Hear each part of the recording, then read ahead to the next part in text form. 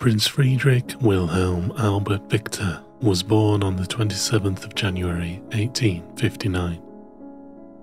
As King of Prussia and Emperor of Germany from 1888 until the end of the First World War in 1918, Kaiser Wilhelm was one of the most influential individuals in early 20th century European politics.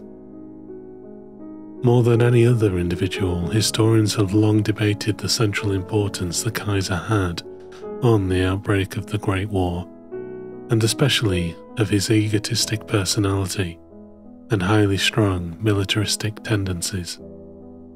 According to this narrative, his troubled childhood, born with a paralyzed and withered arm, and his corresponding deep sense of low self esteem, were crucial to his later need to prove himself the Prussian strongman, the supreme warlord of Europe. This, then, is that story the withered arm and the secret, exhausting, and downright bizarre treatments the young Wilhelm had to endure. Awkward from the get go, the young Wilhelm was a breech birth, presenting bottom instead of head first making his first time teenage mother's delivery all the more dangerous and painful. A devoted husband, Prince Friedrich, dutifully placed his own fingers inside his wife's mouth so she could have something to bite down on. When that proved insufficient, chloroform was required to ease the suffering, although, in keeping with the strict manners of the time, this did at least give her the opportunity to beg forgiveness of all those present for her screaming and impatience.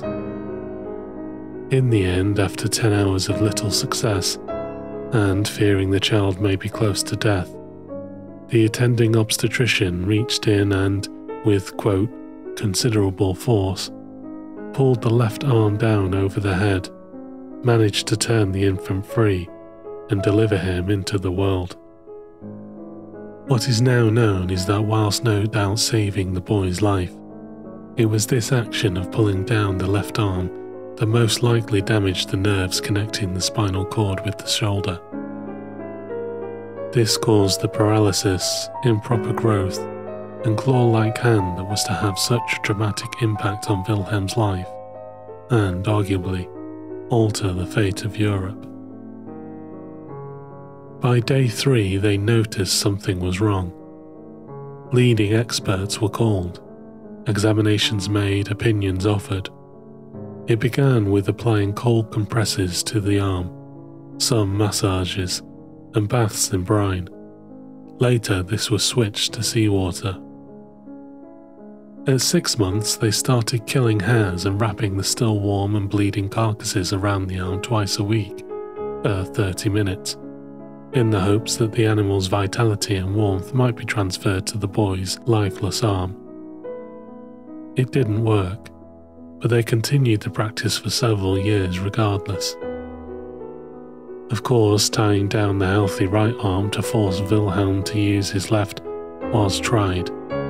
Helpfully, just as the poor boy was learning to walk, he fell over constantly his mother fretfully writing to England's Queen Victoria that Wilhelm was starting to get very angry and violent at the practice.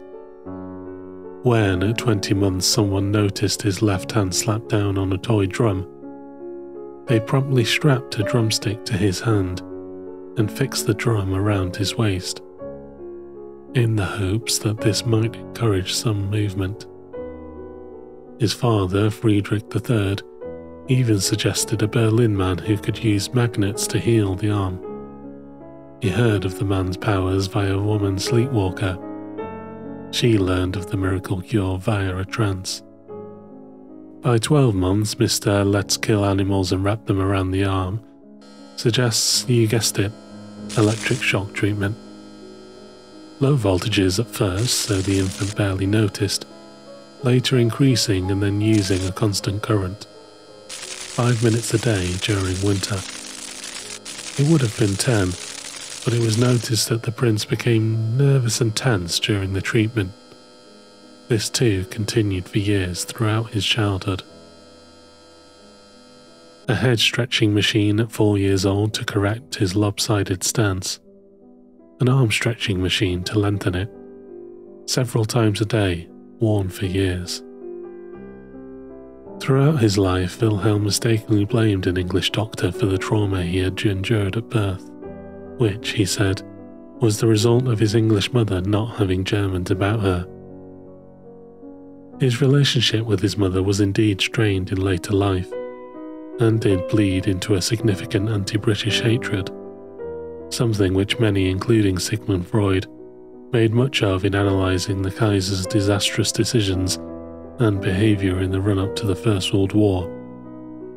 Following the war, he was forced to abdicate and fled into exile to the Netherlands. He died in 1941. His arm never did heal. Thanks for listening. If you like this, subscribe and comment below.